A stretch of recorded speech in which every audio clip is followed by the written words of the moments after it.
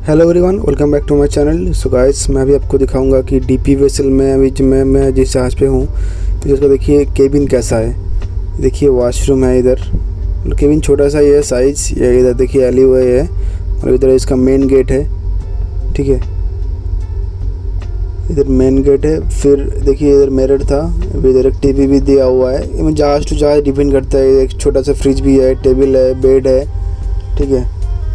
एक देखिए यहाँ पे कबर्ड भी दिया हुआ है। कबर्ड के अंदर स्पेस काफ़ी है। आप यहाँ पे हैंगर पे कपड़ा रख सकते हैं बैग रख सकते हैं ट्रॉली खड़ी दिया हुआ है। ठीक है?